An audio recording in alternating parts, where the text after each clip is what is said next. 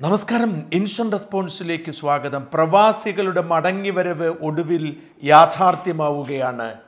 പ്രവാസികൾ ഇങ്ങോട്ട് എത്തിയാൽ ഞങ്ങൾ എല്ലാം നോക്കിക്കോളാം. നിങ്ങൾ അനുമതി മാത്രം നൽകിയാൽ മതി എന്ന് പറഞ്ഞ് കേരള സർക്കാർ രംഗത്തിറങ്ങിയപ്പോൾ പ്രവാസികളെ കൊണ്ടുവരാൻ കേന്ദ്രം അനുവദിക്കുമെന്ന് കരുതിയിരുന്നില്ല. കാരണം കേന്ദ്ര സർക്കാർ സുപ്രീം കോടതിയിലും ഹൈക്കോടതികളിലും ഇത് സംബന്ധിച്ച കേസ് വന്നപ്പോൾ നിലപാടെടുത്തത് അവരെ കൊണ്ടുവരുന്നത് പ്രായോഗികം അല്ല എന്നായിരുന്നു. അതുകൊണ്ട് മുഖ്യമന്ത്രി പിണറായി വിജയനും അദ്ദേഹത്തിന്റെ പാർട്ടിക്കാരും കഷ്ടതയനുഭവിക്കുന്ന പ്രവാസികളെ ഇങ്ങോട്ട് കൊണ്ടുവരാൻ അനുമതി പോലും നൽകാത്ത നിഷ്ഠൂരന്മാരുടെ സർക്കാരാണ് കേന്ദ്രത്തിലെന്ന് പറഞ്ഞുകൊണ്ടിരുന്നു. ഒടുവിൽ കേന്ദ്ര സർക്കാരിന്റെ കണ്ണു തുറക്കുകയും അവർ അനുമതി നൽകിയെന്ന് മാത്രമല്ല ഞൊടിയിടയിൽ ഇങ്ങോട്ട് കൊണ്ടുവരുന്നതിനുള്ള നടപടികൾ ആരംഭിക്കുകയും ചെയ്തു. ഒന്നിലേറെ കപ്പലുകളും അനേകം വിമാനങ്ങളും അയച്ച് അവർ ഗൾഫിൽ കുടുങ്ങിപ്പോയ പ്രവാസികളായ ഇന്ത്യക്കാരെ ഇങ്ങോട്ട് കൊണ്ടുവരികയാണ്. ഏറ്റവും സന്തോഷകരമായ കാര്യം ആദ്യം അവർ കൊണ്ടുവരുന്നത് കേരളത്തിലെ രണ്ട് വിമാനത്താവളങ്ങളിലേക്കാണ് എന്നതാണ്. അതും മറ്റന്നാൾ അതായത് വ്യാഴാഴ്ച അവർ കോഴിക്കോടേക്കും കൊച്ചിയിലേക്കും ഓരോ വിമാനം നിറയെ മലയാളികളെ എത്തിക്കും. കേരള സർക്കാരാണ് കൊണ്ടുവരുന്നത് എന്ന പ്രതിധ്വനി ഉണ്ടാക്കിക്കൊണ്ട് നോർക്കയുടെ വെബ്സൈറ്റിൽ രജിസ്ട്രേഷൻ ആരംഭിച്ചെങ്കിലും ഇപ്പോൾ മുൻഗണന കൊടുക്കുന്നതും പരിഗണിക്കുന്നതും ഇന്ത്യൻ എംബസിയുടെ ലിസ്റ്റാണ് എന്ന് വ്യക്തമായിരിക്കുന്നു. എന്തിനു വേണ്ടിയാണ് നോർക്ക ഇങ്ങനെയൊരു രജിസ്ട്രേഷൻ ആരംഭിച്ചത് എന്ന് വ്യക്തമാക്കേണ്ടതുണ്ട്. നോർക്കയിൽ രജിസ്റ്റർ ചെയ്ത് കേരളത്തിലേക്ക് പോകാൻ കഴിയും എന്ന് കരുതി കാത്തിരിക്കുന്ന അനേകം പേർ ഇപ്പോഴും ഉണ്ട് എന്നോർക്കുക. എന്നാൽ നോർക്കയുടെ രജിസ്ട്രേഷൻ ഒരു തരത്തിലും സർക്കാർ പരിഗണിക്കുന്നില്ല എന്ന് മാത്രമല്ല കേന്ദ്ര സർക്കാർ എംബസി വഴിയുള്ള രജിസ്ട്രേഷൻ മാത്രമാണ് പരിഗണിക്കുന്നത് എന്നും ഓർക്കേണ്ടതുണ്ട്.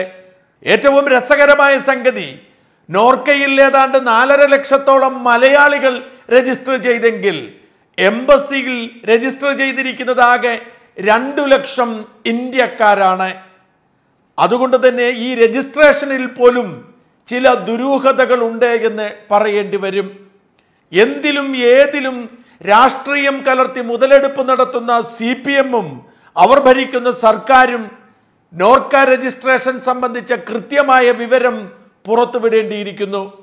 നോർക്കയിൽ രജിസ്റ്റർ ചെയ്തിട്ട് കാര്യമില്ലെന്നും എംബസിയിൽ രജിസ്റ്റർ ചെയ്യാൻ വൈകരുതെന്നും ഉത്തരവിറക്കേണ്ട സമയം അതിക്രമിച്ചിരിക്കുന്നു. അനുമതി മാത്രം മതി ഞങ്ങൾ കൊണ്ടുവരാം എല്ലാ ഒരുക്കങ്ങളും തയ്യാറാണ് എന്ന് പറഞ്ഞിരുന്നവർ ഇപ്പോൾ എന്തുകൊണ്ട് വിമാനക്കൂലി നൽകുന്നില്ല എന്ന ചോദ്യമാണ് ഉയർത്തുന്നത്. ലക്ഷങ്ങളോളം ഇന്ത്യക്കാരെ വിമാനക്കൂലി കൊടുത്തു കൊണ്ടുവരാൻ ഇന്ത്യക്കെന്നല്ല ആർക്കും കഴിയില്ല എന്ന് അവർ മനഃപൂർവം വിസ്മരിക്കുന്നു. മോദി സർക്കാരിനെയും കേന്ദ്രത്തെയും എങ്ങനെയും കുറ്റപ്പെടുത്തുന്നതിനുള്ള ഒരു ഉപാധി എന്നതിനപ്പുറം പറയുന്ന വാക്കുകളിൽ അല്പം പോലും ആത്മാർത്ഥതയില്ല എന്ന് തെളിയിക്കുകയാണ് ഇവിടുത്തെ സി പി എമ്മുകാർ.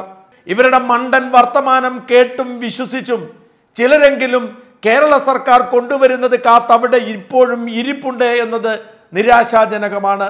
രോഗികളായിരിക്കുന്നവർ ഗർഭിണികൾ തൊഴിൽ നഷ്ടമായവർ വിസിറ്റിംഗ് വിസയിലും മറ്റും ഒന്ന് കുടുങ്ങിക്കിടക്കുന്നവർ തുടങ്ങിയവർക്ക് മുൻഗണന കെടുത്തുകൊണ്ടുള്ള കേന്ദ്ര സർക്കാരിന്റെ തീരുമാനവും ശ്ലാഘനീയമാണ്.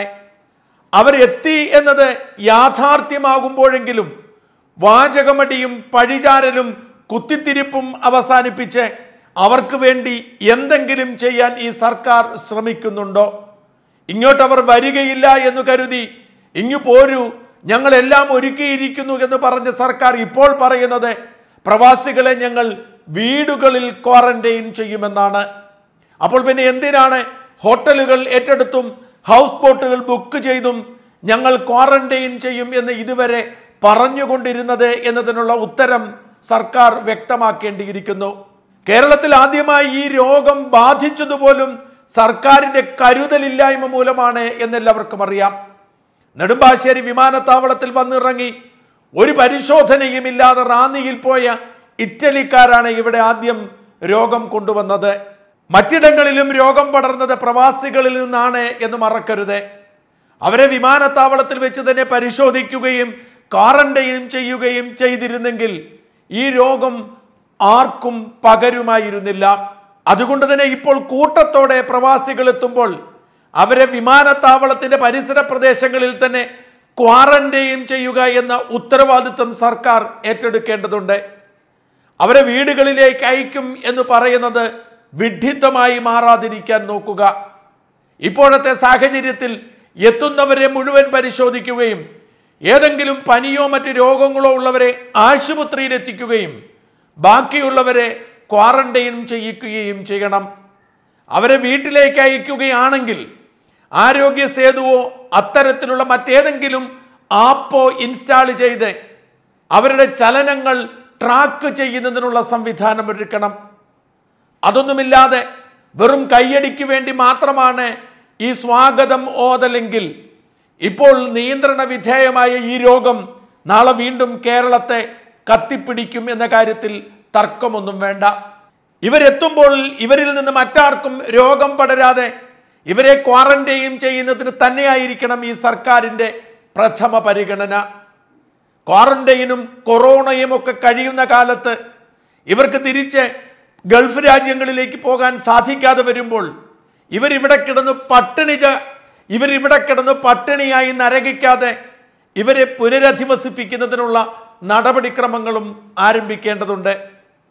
ഈ നാട്ടിൽ ഇപ്പോൾ തന്നെ തൊഴിലില്ലാതെ നടക്കുന്ന ആയിരങ്ങളുണ്ട് അവർക്കൊപ്പം തൊഴിലന്വേഷകരായി ഇവർ ഇതിലെ ഊരുതണ്ടാൻ പാടില്ല.